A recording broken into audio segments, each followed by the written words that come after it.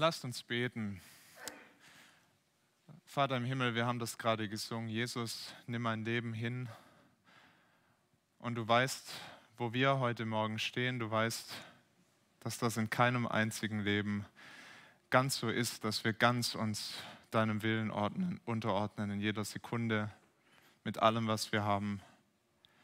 Wir wollen dich um Vergebung bitten und wir wollen beten, dass du uns immer mehr dahin bringst, dass wir dich so lieben lernen, dass wir Jesus so vertrauen lernen, dass wirklich unser ganzes Leben und dass seine gute Herrschaft kommt und wir ihm nachfolgen in allen Dingen, in allen Lebensbereichen. Vater, gebrauch du dein Wort jetzt in dieser Predigt, um unsere Herzen zu verändern, um uns Jesus ähnlicher zu machen. Danke, dass du zu uns reden willst. Amen. Wie geschieht geistliches Wachstum? Diese Frage hat sich vor einigen Jahren eine ganz große Gemeinde in Amerika gestellt, die Willow Creek Church, eine Megagemeinde, tausende äh, Gottesdienstbesucher Sonntag für Sonntag. Und die haben gemerkt, wir sind zahlenmäßig ganz ordentlich gewachsen, aber sie waren sich nicht so sicher, ging das wirklich in die Tiefe? Haben sich gefragt, prägt Jesus wirklich unsere Leute? Suchen unsere Leute täglich seine Nähe? Bezeugen sie ihn mutig im Alltag? Vertrauen sie seinem Willen auch in schweren Lebenssituationen? Und weil sie sich unsicher waren über den geistlichen Zustand der Gemeinde, haben sie das gemacht, was man dann heute so macht. Sie haben ein Marketingunternehmen beauftragt, mal eine Studie zu machen. Und zwar nicht nur in ihrer Gemeinde, sondern gleich in 1200 Gemeinden. Sie haben insgesamt fast 300.000 Christen befragt, wo steht ihr geistlich? Was hilft euch zu wachsen? Und jetzt die ganz überraschende Erkenntnis, denn es gab viele Ergebnisse, aber ein Ergebnis war, was hilft Christen am meisten geistlich zu wachsen? Wisst ihr, was am meisten hilft? Jetzt kommt's. Der wichtigste Faktor für geistliches Wachstum kam in dieser Studie raus, ist das intensive Studium der Bibel und die Anwendung von Gottes Wort auf das eigene Leben. Kann man sich darüber streiten, ob es dafür eine große Studie braucht, aber es hat mich doch sehr gefreut, dass es jetzt wissenschaftlich belegt ist, was schon Christen seit 2000 Jahren wissen, was der Paulus wusste, was die erste Gemeinde wusste. Ja, es braucht Gottes Wort, um geistlich zu wachsen. Und zwar nicht nur als Bildung, nicht nur, dass wir so ein bisschen klüger werden, sondern dass es unsere Herzen verändert, unsere Herzen prägt und wir das anwenden in unserem Leben. Und das sehen wir heute in diesem Predigtext, dass der Paulus so durch die Lande zog, durch Gemeinden zog, sie ermutigt hat, doch Gottes Wort ernst zu nehmen und mehr danach zu leben. Und uns darf dieser Text ermutigen, ihm zu folgen in seinem Beispiel, Bibel auf unser eigenes Leben anzuwenden und dann auch andere zu ermutigen, mit dem Wort zu trösten und wo nötig auch damit zu ermahnen, wie wir das in dem Text sehen. Ich möchte uns nochmal die ersten drei Verse lesen. Als nun das Getümmel aufgehört hatte, rief Paulus die Jünger zu sich und er tröstete sie, nahm Abschied und brach auf, um nach Mazedonien zu reisen. Und als er diese Gegenden durchzogen und die Gemeinden mit vielen Worten ermahnt hatte, kam er nach Griechenland und blieb dort drei Monate. Da ihm aber die Juden nachstellten, als er zu Schiff nach Syrien fahren wollte, beschloss er, durch Mazedonien zurückzukehren. In diesen Versen, in diesen ersten, das sehen wir, wie Paulus sich gesorgt hat um die Gemeinden, die er gegründet hatte in der ganzen Region. Der war ja ein, ein, ganz mutiger und hingegebener Gemeindegründer, der wirklich, wo er hinkam, erst in die Synagogen gegangen ist, dann zu den Heiden und ihnen das Evangelium gepredigt hat. Den Auftrag Jesu ernst genommen. Geht hin und machet zu Jüngern. Evangelisiert, missioniert. Er wusste auch, dass dieser Auftrag von Jesus noch einen, noch einen zusätzlichen Teil hatte. Nicht nur evangelisieren, nicht nur missionieren, sondern auch lehret sie halten. Alles, was ich euch geboten habe.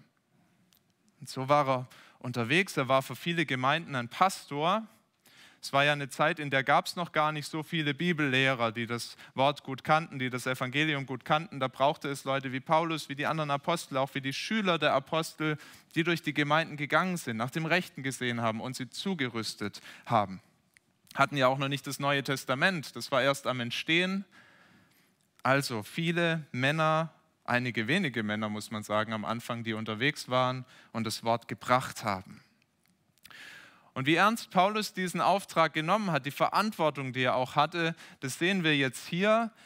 Wir lesen in diesen ersten Versen, er möchte reisen nach Griechenland. Und ihr habt die Karte auf dem Gottesdienstblatt. Ähm, wenn ihr da mal schaut, wo Ephesus liegt, wo er ja war, nach Griechenland, da hätte er einfach von Ephesus ein Schiff nehmen können, übers Meer, sich eine schöne Zeit auf dem Wasser machen können, mit dem Kreuzfahrtschiff rüber nach Korinth. Aber das tut er nicht. Er fährt nicht mit dem Schiff nach Korinth rüber, nach Griechenland, nicht weil er Angst hat vor dem Wasser, sondern weil er den Landweg nehmen will, um viele Gemeinden zu besuchen und viele Gemeinden zuzurüsten. Ursprünglich lesen wir hier, wollte er dann von Griechenland ähm, nach Syrien reisen mit dem Schiff. Das war äh, wie nach der zweiten Missionsreise, dass er wieder zurückreisen wollte. Er wollte nach Jerusalem. Und äh, wir lesen dann in Vers 3, dass er verfolgt wurde. Die Juden setzten ihm hart zu in Griechenland. Sehr sicher war das in Korinth. Und so macht er das Beste aus der Situation und er reist nochmal den Landweg, nochmal zurück und auf dem Rückweg besucht er wieder Gemeinden. Lass uns mal ein bisschen genauer anschauen, wie sein Dienst da aussah. Wir lesen in Vers 1, dass er noch in Ephesus die Jünger zusammenrief, die Christen, und er sie tröstete. In Vers 2 lesen wir, dass er die Gemeinden besuchte und die Gemeinden ermahnte, viele Gemeinden ermahnte. Das Wort, was da verwendet wird, das ist im Griechischen nur eins. Trösten und ermahnen, das ist beide Male das Wort Parakaleo. Das heißt auch noch ermutigen. Viele Bedeutungen und das Interessante ist, dass dieses Wort Parakaleo Jesus selbst gebraucht für das Werk, das der Heilige Geist tut. Im Johannesevangelium sagt Jesus, der Heilige Geist, er ist der Paraklet, er ist der Tröster, er ist der Ermutiger, er ist der, der ermahnt, Gottes Wort ernst zu nehmen. Und wenn wir diese zwölf Verse lesen, dann äh, beim ersten Überfliegen sehen wir da an keiner Stelle äh, Gott erwähnt, an keiner Stelle Christus erwähnt, nicht den Vater, nicht den Heiligen Geist. Und doch ist das durchdrungen vom Werk des Heiligen Geistes, der hier Paulus gebraucht, sein Werk zu tun. Durch Paulus das Werk Gottes tut in den Gemeinden. Der Heilige Geist ist hier kräftig am Wirken. Zuerst in Ephesus, wo Paulus die Jünger zusammenruft und ähm, müsst euch vorstellen, wir haben letzte Woche gehört von diesem Aufstand des Demetrius in Ephesus. Die Jünger waren bestimmt geknickt, hatten vielleicht auch Angst, diese Christen in Ephesus, nach diesem Drama, was sich da abgespielt hat. Tausende auf der Straße, die brüllen, groß ist die Diana der Epheser, die sich die Stimme heißer geschrien haben gegen Jesus Christus. Hatten Angst. Was wird jetzt passieren? Haben vielleicht zum ersten Mal in ihrem Leben Verfolgung erlebt. Und Paulus nimmt sie zur Seite und er tröstet sie, bevor er geht. Ganz sicher mit Gottes Wort hat er sie getröstet. Vielleicht hat er ihnen zugesprochen, was Jesus schon seinen Jüngern gesagt hat. In der Welt habt ihr Angst. In der Welt habt ihr Bedrängnis. Aber seid getrost. Ich habe die Welt überwunden. Vielleicht hat er sie ermutigt mit den Seligpreisungen. Zum Beispiel mit der, selig seid ihr, wenn euch die Menschen um meinetwillen schmähen und verfolgen und allerlei Böses gegen euch reden und dabei lügen. Seid fröhlich und jubelt, es wird euch im Himmel reichlich bewohnt, äh, belohnt werden, denn ebenso haben sie verfolgt die Propheten, die vor euch gewesen sind. Paulus hat die Christen in Ephesus getröstet. Und es waren keine Floskeln, das war nicht so ein netter Spruch mal zwischen Tür und Angel, den man so jemand mitgibt, sei getröstet. Der Paulus hatte selbst diesen Trost erfahren.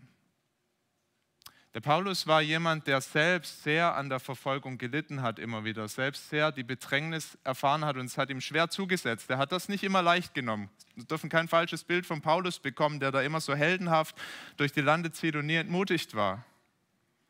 Im zweiten Korintherbrief, da schreibt er und lässt uns tief blicken in sein Herz, wenn er den Korinthern schreibt, denn wir wollen euch, liebe Brüder, nicht verschweigen die Bedrängnis, die uns in der Provinz Asien widerfahren ist wo wir über die Maßen beschwert waren und über unsere Kraft, sodass wir auch am Leben verzagten. Am Leben verzagt dieser Paulus durch die Bedrängnis. Dass wir am Leben verzagten und bei uns selbst für beschlossen hielten, wir müssten sterben. Es hat ihm so hart zugesetzt, dass er dachte, ich mache das nicht mehr lang mit, ich, ich, bald muss ich sterben, vielleicht durch die Verfolgung, vielleicht macht es mein Herz nicht mehr mit, was ich hier erlebe. Aber in seiner Not durfte er Gottes Trost erleben. Auch das schreibt er am Anfang des zweiten Korintherbriefs. Und er schreibt, mit was für einem Trost Gott ihn in seiner Not, in seiner Bedrängnis getröstet hat. Er selbst ermutigt wurde. Paulus war jemand, der dieses Leid und die Not kannte und das machte ihn zu so einem guten Tröster weil er selbst erst getröstet war von seinem guten Gott. In anderen Gemeinden, wahrscheinlich auch in denen in Vers 2, da war er mehr der, der ermahnen musste. Da musste er hingehen und die Leute dazu auffordern, folgt Christus kompromissloser nach. Macht keine halben Sachen, das wird euch nicht helfen. Ganze Sache mit Christus. Es waren vielleicht so Gemeinden wie auch die Korinther, ähm, lesen wir im ersten Korintherbrief, wie er die hart ermahnen muss. Eine Gemeinde, in der gab es Spaltungen, ganz früh schon. Fraktionen, die gegeneinander standen, viel Lieblosigkeit. Es gab sexuelle Unmoral in dieser Gemeinde. Es gab Streit um Speisegebote, Streit um die Geistesgaben. Es gab so viel Streit in dieser Gemeinde und Paulus ermahnt und sagt ihnen, Schaut auf Jesus und er wird euch wieder verbinden, er wird euch vereinen und kommt unter seine gute Herrschaft. Mit dem Trösten tun wir uns leicht, mit dem Ermahnen vielleicht nicht ganz so sehr. Aber es ist eine gute Sache, dass er diese Gemeinden nicht hat in die Irre laufen lassen, nicht einfach so ihren Stiefel durchziehen lassen, sondern er hat sie ermahnt, wieder auf den richtigen Weg zu gehen. Hat das auch nicht von oben herab getan. Der Paulus wusste selber ganz gut, dass er das auch nötig hat. Ermahnung, Zurechtweisung. Er schreibt im Römerbrief Kapitel 7, wie er zu kämpfen hatte, immer wieder mit der Sünde. Er sagt, das Gute, das ich will, das tue ich nicht. Und das Böse, das ich doch gar nicht will, das tue ich. Der kannte diesen Kampf mit der Sünde. Der wusste, wir brauchen das dass wir uns von Gottes Wort wieder auf den rechten Weg rufen lassen, dass wir das uns aber auch gegenseitig ähm, zusprechen, uns ermahnen und so bekommt Ermahnen eine, eine, ermutigende Facette im Grunde, denn wir rufen uns zurück auf den richtigen Weg, das ist was Ermutigendes. Was können wir von diesem Dienst für unser Leben als Christen lernen? Mindestens zwei Dinge. Das erste, der Heilige Geist, der will auch uns gebrauchen, um Glaubensgeschwister zu ermutigen, zu trösten und wo nötig auch zu ermahnen. Gott stellt uns in eine Gemeinschaft, damit wir einander in der Nachfolge Christi unterstützen, als Gemeinde.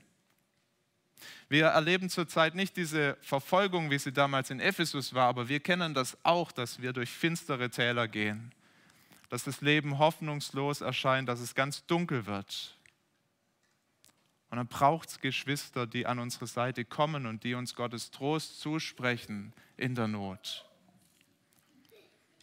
Wie wichtig sind solche Menschen, die dann kommen und uns den Blick ausrichten, wieder neu auf Jesus Christus.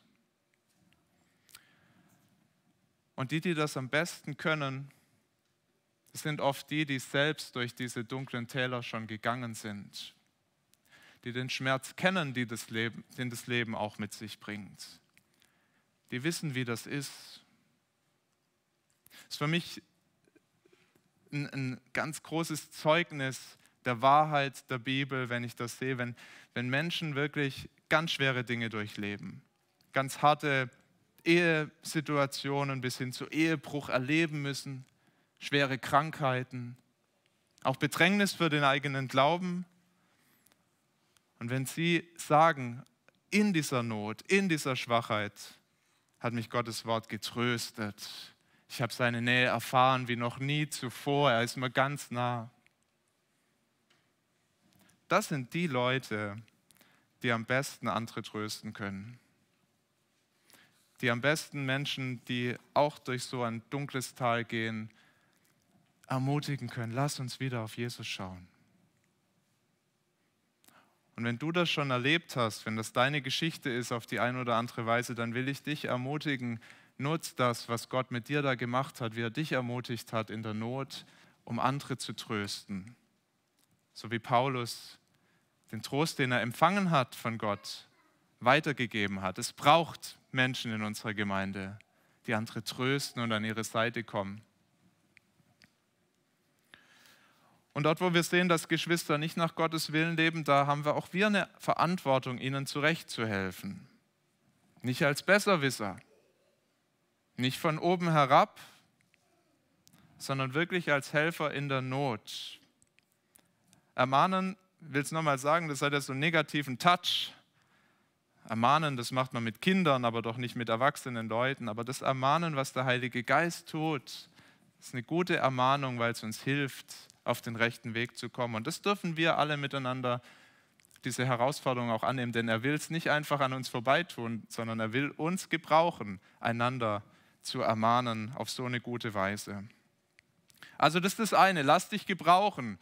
Die andere Seite dieser Medaille ist, und das ist das zweite, der Heilige Geist will andere gebrauchen, um uns zu ermutigen, zu trösten und zu ermahnen. Rechnest du damit, dass Gott durch andere Christen an dir arbeitet? Bist du offen dafür? Bittest du vielleicht sogar darum? Ich beobachte eine Tendenz, dass Christen sich, wenn, es ihnen schlecht geht, auch wenn sie in Sünde verstrickt sind, sich zurückziehen, immer mehr aus der Gemeinschaft weil es vielleicht so schmerzhaft ist, weil es vielleicht auch peinlich ist, der Rückzug aus der Gemeinschaft. Bitte tu das nicht. Zieh dich nicht zurück, wenn du am Leben verzweifelst, wenn deine Umstände richtig schwer sind, wenn du mit Sünde zu kämpfen hast, sondern vertrau dich jemand an, dem du vertraust. Es können die Ältesten sein, es können wir Pastoren sein, das kann aber jeder andere Christ auch sein, dem du vertraust. Sprich mit ihm darüber. Und lass dir helfen. Besser früher als später. Brauchen einander. Paulus hat Christen in seinem Reisedienst in ihrem Glauben ermutigt und gestärkt und wir dürfen das 2000 Jahre später genauso tun. In den nächsten drei Versen, da sehen wir jetzt, dass Paulus nicht allein unterwegs war, sondern in einer ermutigenden Dienstgemeinschaft. Ich lese auch die Verse nochmal. Es zogen aber mit ihm Sopater aus Beröa, der Sohn des Pyrrhus aus Thessalonich, aber Aristarch und Sekundus und Gaius aus Derbe und Timotheus. Aus der Provinz Asien aber Tychicus und Trophimus. Diese reisten voraus und warteten auf uns in Troas. Wir aber fuhren nach den Tagen der ungesäuerten Brote mit dem Schiff von Philippi ab und kamen am fünften Tag zu ihnen nach Troas und blieben dort sieben Tage. Neben den hier in Vers 4 erwähnten Leuten, die mit Paulus unterwegs waren, war auch noch Lukas dabei, der sich hier nicht selbst erwähnt, der aber drinsteckt in dem Wir und in dem Uns. Ja, ihr lest in Vers 5, diese reisten voraus und warteten auf uns in Troas. Lukas ist da selber drin, der diese Apostelgeschichte geschrieben hat. Also Paulus war mit dieser Reisegruppe unterwegs und die war so bunt wie die Gemeinde, abgesehen von Frauen. Die haben gefehlt, aber sonst war das so bunt wie die Gemeinde. Männer aus ganz verschiedenen Städten und aus verschiedenen Ländern oder Regionen, die da miteinander unterwegs waren. Männer auch aus ganz unterschiedlichen Hintergründen. Der Lukas war ja ein Arzt, gebildet, gut situiert. Es war aber auch ein Mann dabei mit Namen Sekundus. Und äh, wer sich so ein bisschen mit, dem, mit den Griechen beschäftigt und den Römern, der weiß, dass also die Sklaven, die wurden einfach durchnummeriert. Eins, zwei, drei, vier, fünf. Und Sekundus war halt der zweite, vielleicht war sein Bruder der Primus oder sein Vater. Sekundus, das ist einfach ziemlich sicher ein Sklavenname gewesen. Es war einfach eine Nummer. Und der durfte aber erleben, wie Jesus Christus ihn auch gerufen hat durch das Evangelium, wer nicht mehr einfach nur eine Nummer war, sondern ganz wertvoll für Gott. Und diese Gruppe, also tat zusammen den Dienst und das war bestimmt für den Paulus eine große Ermutigung für die Kraft des Evangeliums, wie das Menschen wirklich in den unterschiedlichsten Kontexten erreicht, rausreißt, sie ein neues Leben finden in Christus. Das waren auch große Helfer für den Paulus, eine persönliche Ermutigung für ihn. Er konnte sich ja auch nicht äh, irgendwie, er konnte ja auch nicht überall gleichzeitig sein brauchte Leute, die ihm halfen, die das Evangelium in andere Städte brachten, diesen Dienst der Ermutigung woanders taten. Konnte ja auch seine Briefe nicht per Einschreiben auf der Post eingeben, sondern er hat es diesen Männern anvertraut. Und die sind dann in die Gemeinden gereist und haben dort die Briefe von Paulus zugestellt, zuverlässig. Diese Dienstgemeinschaft war ganz sicher auch ein großes Zeugnis, eine Ermutigung für viele Christen in dieser Zeit. Ihre Herkunftsgemeinden hatten diese Männer freigestellt, um diesen Reisedienst zu tun mit Paulus, damit sie Menschen an anderen Orten Gottes Wort brachten. Ich kann also sagen, ihre Gemeinden verzichteten auf einige ihrer besten Leute zum Wohl anderer. Gedankenexperiment, es ist ganz schwer sich vorzustellen, aber stellt euch mal vor, unsere Gemeinde hätte keine Pastoren. Kann man sich nicht vorstellen bei uns. Aber stellt euch vor, wie ermutigt wären wir, wenn uns andere Gemeinden ihre Leute schicken, zum Predigen kommen, uns Gottes Wort auslegen. Tatsächlich durften wir das in den letzten Jahren immer wieder erleben als Pastoren, aber auch die Trainees, die unterwegs sind hier in der Gegend rund um München und auch in München, in anderen Gemeinden, die nicht genug Pastoren haben, nicht genug Prediger. Da waren wir oft zu Predigtdiensten eingeladen und allermeistens, hatte ich zumindest den Eindruck, waren die auch dann ermutigt danach.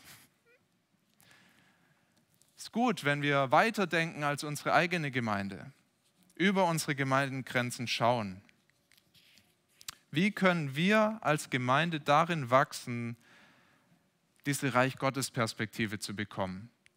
Dass es noch viele andere Gemeinden gibt, die wir ermutigen können. Sind wir bereit, einige unserer besten Leute in andere Gemeinden zu schicken, für so einen Dienst freizustellen, sie zu entsenden, die Mission oder einfach nur in eine andere Region dieses Landes oder dieser Stadt, wo sie dann mit der Bibel in der Hand ermutigen, trösten, ermahnen, Menschen Gottes Wort bringen. Das sind Fragen, die sich ja uns ganz aktuell stellen. Wir haben beschlossen, dass wir eine neue Gemeinde gründen wollen im Münchner Westen, in Freiham. In diesem Gründungsteam, das es jetzt schon seit knapp zwei Jahren gibt, da sind einige sehr, sehr fähige, sehr dienstbereite Leute aus unserer Gemeinde. Da werden wir gute Leute verlieren, die nach Freiham gehen.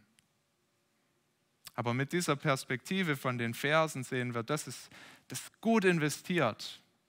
Es ist gut, wenn wir sie schicken, wenn wir sie gehen lassen, damit auch an anderen Orten Christen ermutigt werden und Menschen ganz neu zum ersten Mal zum Glauben finden. Genauso gilt diese Reich Gottes Perspektive für unser Trainee-Programm.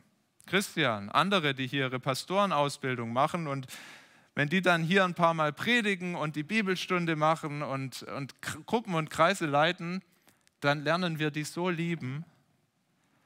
Dann sagen wir den Christian und auch andere, die wollen wir nie mehr gehen lassen, weil du so einen guten Dienst hier tust. Und dann brauchen wir wieder diese Perspektive. Ja, die tun hier einen guten Dienst. Ja, Gott sei Dank haben wir sie lieb und sie bringen uns Gottes Wort. Aber wir wollen andere Gemeinden segnen mit solchen Leuten. Wenn wir Geschwister zum Dienst in anderen Gemeinden freisetzen, so wie das hier geschehen ist, dann dürfen wir wissen, unser Verlust ist ihr Gewinn. Unser Verlust ist ihr Gewinn.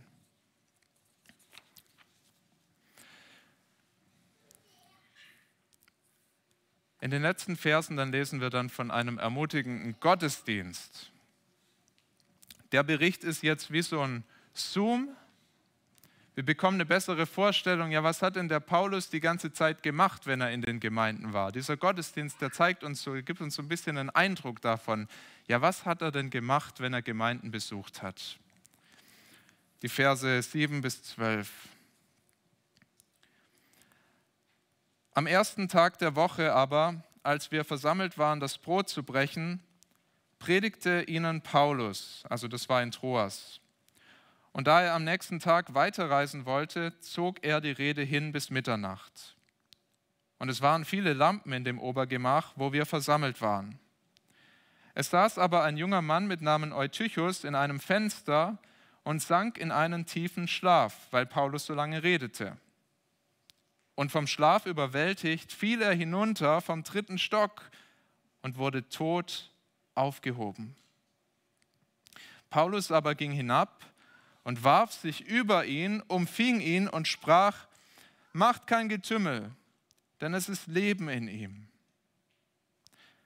Dann ging er hinauf und brach das Brot und aß und redete viel mit ihnen, bis der Tag anbrach. Und so zog er hinweg. Sie brachten aber den jungen Mann lebend herein und wurden nicht wenig getröstet. Paulus macht Station auf dem Rückweg nach Jerusalem in Troas. Auch dort nimmt er sich Zeit für die Gemeinde, auch dort ermutigt er sie.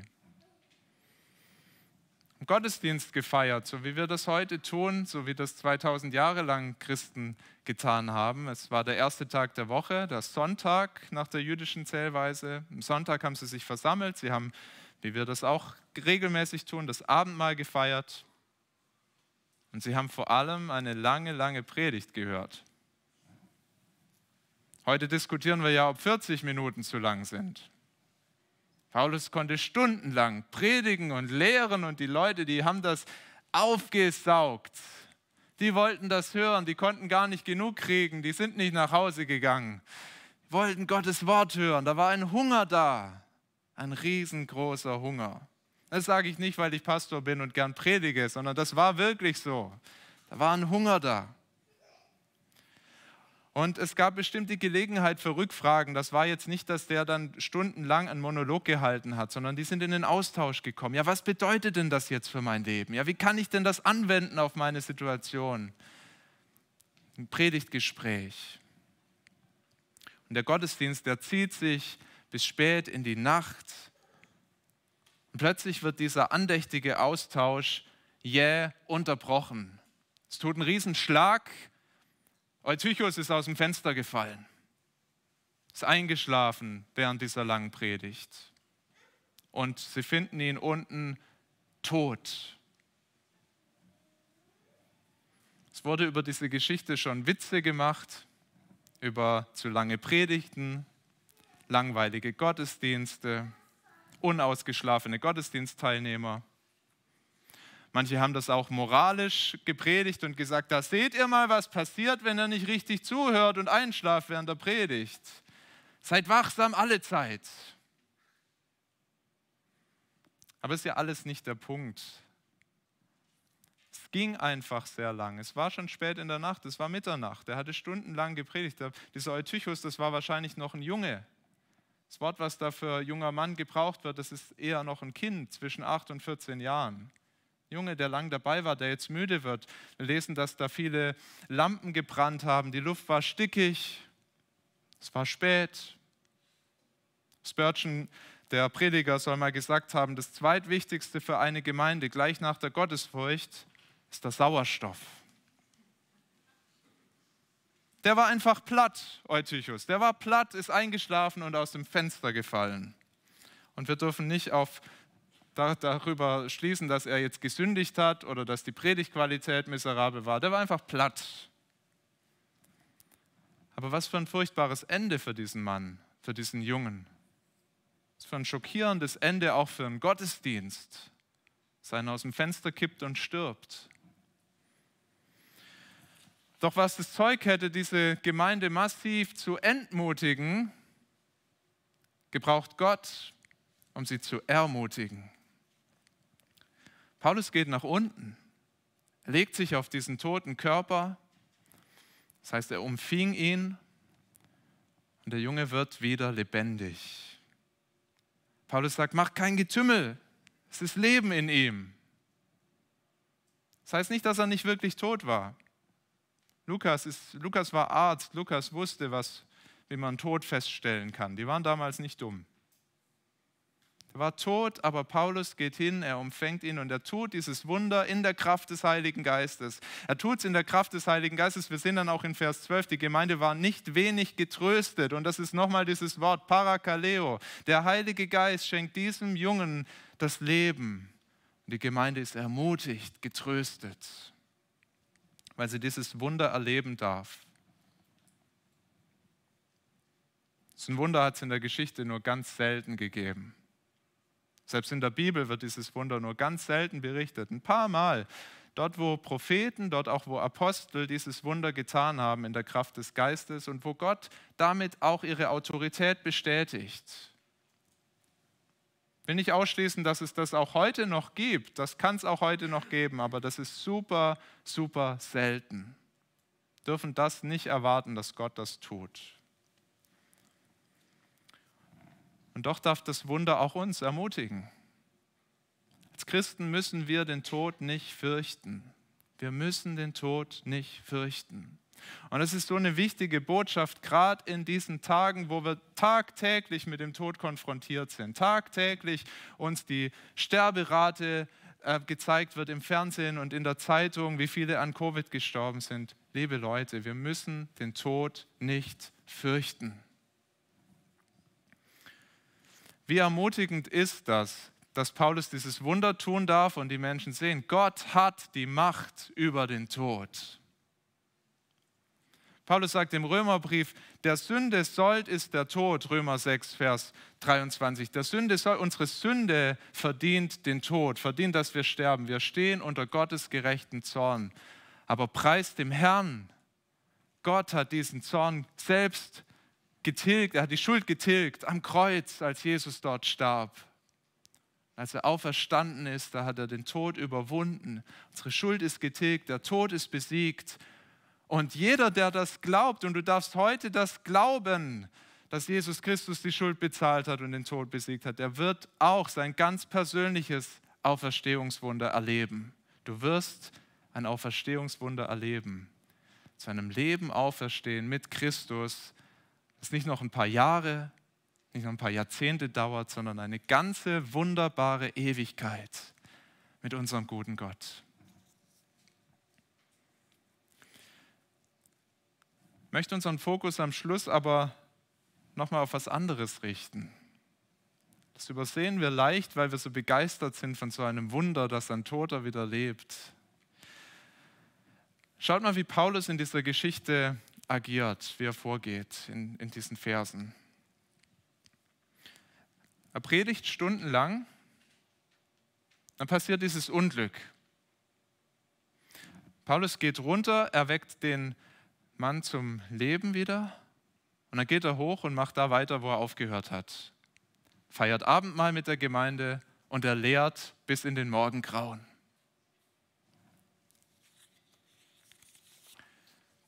Deutlicher konnte er der Gemeinde in Troas nicht zeigen, was wichtiger ist als dieses Wunder. Deutlicher kann er auch uns nicht zeigen, kann Gott uns durch diesen Bericht nicht zeigen, was wichtiger ist als dieses Wunder nämlich sein Wort. Sein gutes Wort.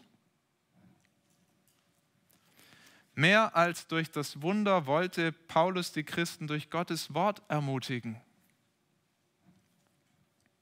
Bestimmt malte er ihnen das Evangelium ganz kraftvoll vor Augen. Sie durften das nochmal erkennen, auch in der Feier des Abendmahls, sehen, schmecken, wie gut Gott ist. Sprach mit ihnen darüber, wie Gottes Liebe ihren Alltag prägen kann.